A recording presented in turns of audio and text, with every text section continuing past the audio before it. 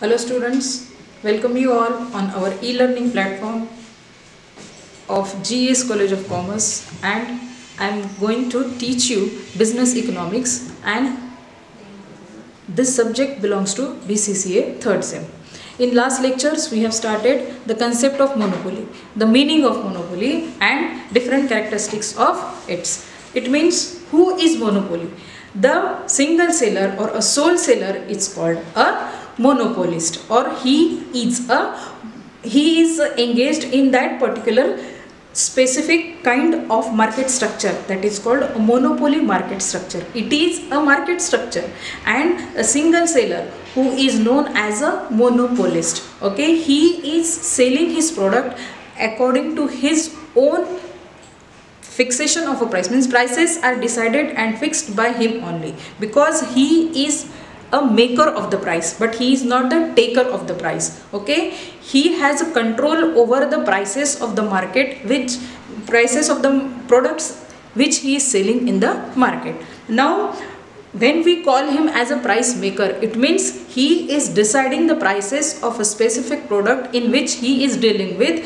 And it means he is changing the prices. He may increase the prices he may decrease the prices. Why? Because there is no competitor available in the market in kind of monopoly market structure. Clear? He is a single seller he is a sole seller he is a price maker okay? And the concept of firm and industry completely disappears in case of monopoly. It means what? Being a single seller he has he becomes the entire industry himself. Okay? He is dealing with all the prices of the products. He is deciding the prices he is fixing the prices. Whenever if he wish to decrease the prices generally in the market the prices are not decreased in case of monopoly. But if he want to minimize his rates he can minimize. Depending upon the demand of the particular product he will decide how much to supply in the market. It means the supply the quantity to be supplied in the market is completely is in the hands of monopolist okay? And so he is called king of the market. Then what are the characteristics that also we have seen in our last lecture? But today we will go through with the different kinds or different types of monopoly. Now there are three to four types of monopoly. First is pure and imperfect monopoly. Second is legal, natural, technological that is also called as a technical and joint monopoly. Then it is simple and discriminating monopoly and lastly it is private and public monopoly. Now what are these different kinds of monopoly? It means they, they, these are the different types or different kinds of monopoly where a single seller he is the owner of the price of that particular product. As we have already discussed he is a price maker. Now what is pure monopoly? In pure monopoly or this type of monopoly pure kind of monopoly the person the seller he is a single firm okay who controls the supply of the commodity having no substitutes.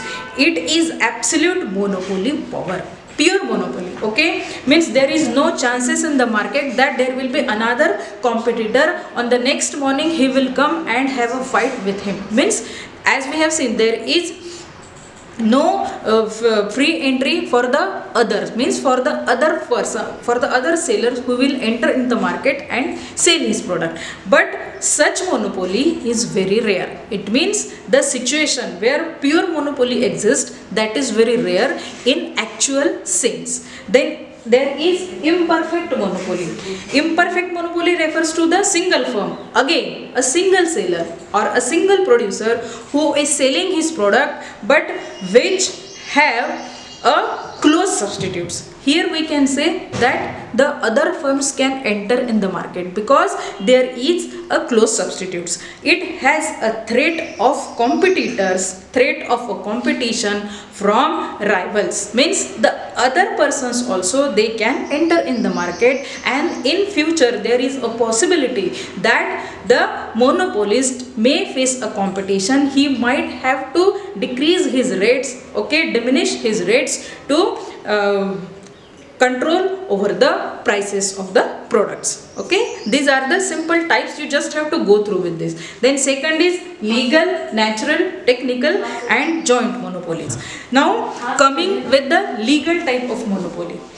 Now when we talk about legal monopoly it refers to the provisions for the trademark patents copyrights. It means no other product. As you all are aware what is trademark ISI mark. These are the certain marks certain kinds of copyrights which are given to those persons to those sellers. It means they have the right. Nobody can copy their product. Nobody can copy their name of the product. Their quality quantity doesn't make a difference here. But when we are talking in legal sense it means they have got the rights from the government. That particular mark is there on their product that is called a trademark a patent or a copyright. It means other cannot copy or carry the same trademark same patents like the seller who is presently selling his product in the market. Okay? Then it means the name the by which a single seller who is selling his product in the market. The name cannot be used by the other one by the other seller. There may be similarity in the name but it should not be exactly same because the name has got a patent. They have got the copyright. They have got their mark from the legal authorities from the government so that nobody can copy their name for their for selling the product they can sell in other name but not with the same name. That is, is legal monopoly. And then we will talk about natural monopoly. What is natural monopoly? For example natural monopoly is like some geographical areas which are gifted by nature with full of water and good kind of kind of soil or a land. Here we can take the example of our state. In india haryana or punjab is such a kind of state they are blessed with good natural conditions okay? Because why? Because the soil is good okay? The weather conditions are good. So it is called that particular area of the nation of the region have got the monopoly. They are producing more wheat. Why more wheat is produced there? Because the conditions the weather conditions which are required for the production of the wheat that exist in that particular area. So that local area or it is called a natural monopoly okay? So maximum production in india comes from that area because that area that local area or that land is blessed with a good quality of soil at the same time they have got a good weather conditions in that particular region or area. Now we will come to the technological monopolies. Now what it refers to there are some businessmen who are it means we are talking about technological monopolies. Technological monopolies are such kind of monopolies. Some of the businessmen are in receipt of ancestor business okay? Here we can take the examples of reliance bajaj there are certain business empires they are the entrepreneurs okay they are blessed with it means ancestor जो property है okay जो business which is coming to the generation to generation okay the next generation get everything ready made and they are continuing the business with their capacities qualities and that is called a technological monopoly then we will talk about joint monopoly where the production or business is carried out on the basis of trust and group of business empires etc generally these kind of monopoly do not exist but it may be possible that two good companies two good products are coming together and they give their company name as a jv jv means joint venture.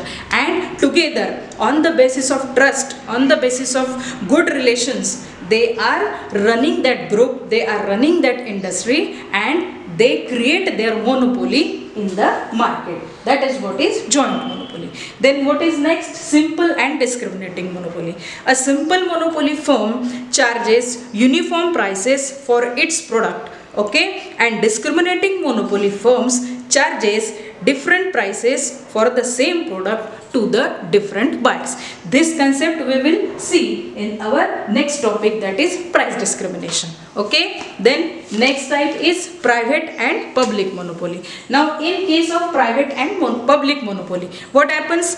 As on the basis of ownership it is private and public monopoly. When an individual or a private body controls the monopoly it is regarded as a private monopoly and when the production is solely done or made and operated and owned by state government then it is public monopoly. Some of the government industries are classified under public monopolies.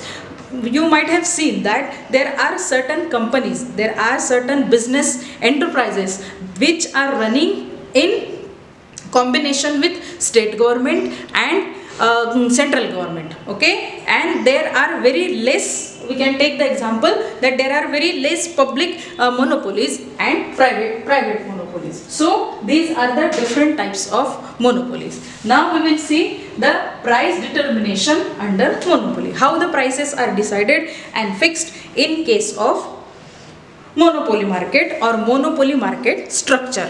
A monopolist has a control over prices as he is a price maker. His prices and output decision is obviously for the reason of profit maximization. Okay, monopoly has a control over prices. He is deciding his prices of the product. He is a price maker his prices and output decision is obviously from the profit maximization point of view. Then monopolist faces three situations. Okay. He may earn supernormal profit, normal profit or but the chances of loss loss is very very few in case of monopoly. But there may be a situation for a normal profit and supernormal profit and considering the price determination he is a sole person. He is a sole seller who is deciding the rates who is deciding the um, uh, prices about his product. So price determination or price fixation is very easy and simple in case of monopoly market structure Supernormal profit is earned at in which situation? It can be earned when prices are fixed. That is average revenue is more than average cost. Okay, simply you have to remember this that prices are determined how? In monopoly structure, monopoly faces three situations like supernormal profit, normal profit and minimum losses but the chances are of losses is very very less it means he never earns loss for his product which he, he has produced and selling in the market. So this is what is price determination. Earlier we have seen types of monopoly. Now we will move on to the another topic that is price discrimination. Now what is exactly is price discrimination? It means a price discrimination in case of monopoly market structure. You have to remember this price discrimination under monopoly. We can say. Now, the word discrimination means what? Discrimination means variation, differentiation about the prices in case of monopoly. How a monopolist is making variations and differentiation for the prices of a single product. Means the same product is sold in the market at different rates. This is called price discrimination. What is price discrimination? When a same product is sold in the market to the different buyers at different rates then it is called price discrimination discriminate कर रहा है considering the economic situation the financial situation the seller he is selling the same product at different rates to the different buyers you might have seen this happens when you go into the market we'll take a very simple example okay when you go to buy something in the market the seller they are very sharp and smart okay looking at your gesture okay looking at your uh, standard of living they are uh, informing you about the rates okay? And that is what is exactly price discrimination. Means the different prices are charged by the monopolist for the same product to the different buyers. That is exactly the meaning of price discrimination. So price discrimination means what? A variation in the prices for the same product. The same product is sold at the different rates to the different buyers. So price discrimination occurs in two ways or in two situations. How? By changing different prices for the same product to the different sellers and secondly price discrimination or variation is not associated with the cost of production. Obviously, in case of monopoly, one thing you have to remember that a single seller or a sole seller has to earn profit. Generally, he is not doing his business in loss. That is the basic concept. But while deciding the prices, while making the discrimination in the prices, he is not considering the cost of production. Obviously, the products which he is selling is above the cost of production only. It means above the normal range, above the no profit, no loss situation. But still, price in price discrimination or variation, it is not associated with cost of production.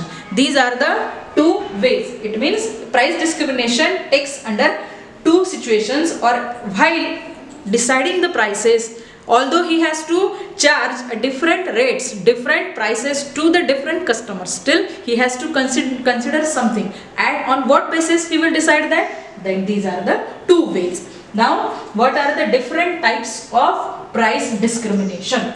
Now we will see before this we have seen types of monopoly. Now these are the types of price discrimination. Personal discrimination okay? Now in case of personal discrimination here we can take the example of doctor or lawyer. Okay? The person who is a doctor okay? And he is checking his patients on daily basis. There are some patients who are with good economic conditions or they can afford his treatment. But at the same time the same doctor he is charging the lesser fees to those persons, to those uh, patients who is coming to them okay they are he is charging different rates to the different patients. That is happen in case of personal discrimination.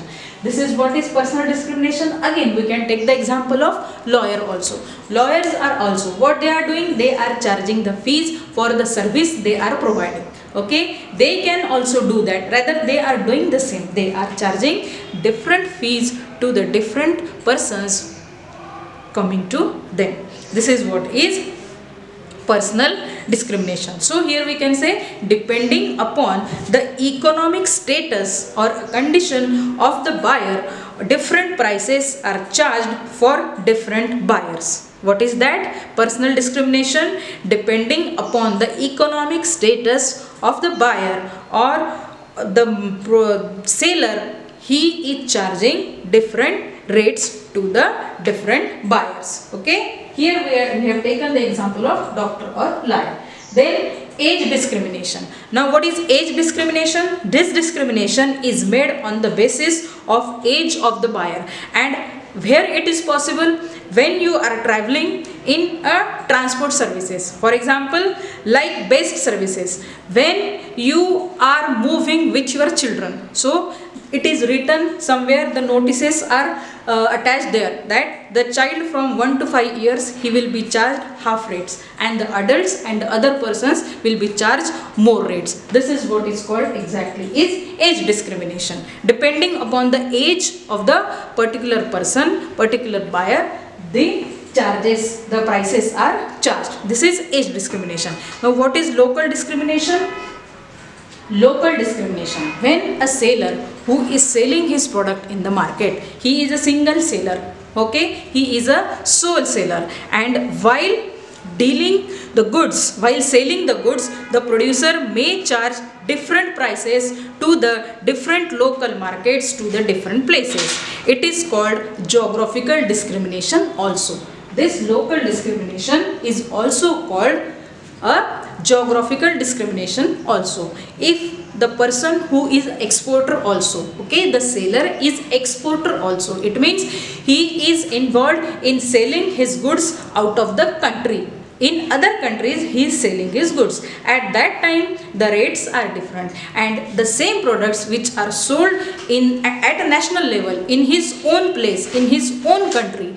And then that time the rates are different. So this is a local discrimination. Now size discrimination. Now size discrimination refers to what? There are different types of market that is wholesale market or retail market. If you go to the retail market you are getting the products at higher rate and the same products which you are buying from the wholesale market those products are purchased by you at a lesser rate. That is what is the difference between size discrimination rather retail market and wholesale market. This is a size discrimination. Size discrimination. Then next is use oblique trade discrimination. Now how we can take the example of use and trade discrimination depending upon the type of the use of the product the use discrimination takes place. How it is possible? For example, water and electricity charges are charged at different rates by for the different buyers or different use. For example, we will take a domestic gas, okay? The or electricity charges. When a person who is running a manufacturing plant or a he is running any business the charges for the electricity are charged at a commercial rate whereas the electricity for the domestic used is provided to the common people. The rates are different. So domestic charges and commercial uses charges. This is what is exactly use and trade discrimination. Then last is quality oblique special service comfort discrimination. Here what we can take the example of that in monopoly price discrimination depends upon the quality or the special services provided by the monopolist. It means if you are going to watch a movie in multiplex so the rates which are charged by the multiplex owner are different and if you are going to any cinema hall which is a local cinema hall there the charges will be lower or the charges will be different. There will be variation in the prices for the watching for watching the movies. That is what is quality oblique special service or comfort discrimination. Okay. This is what we have seen today the different types of monopoly then price determination under monopoly and what is price discrimination? Con concept of price discrimination under monopoly at the same time different types of price discrimination. Okay? Now in next sessions we will see what are the different conditions for price discrimination and further things as per our syllabus. Thank you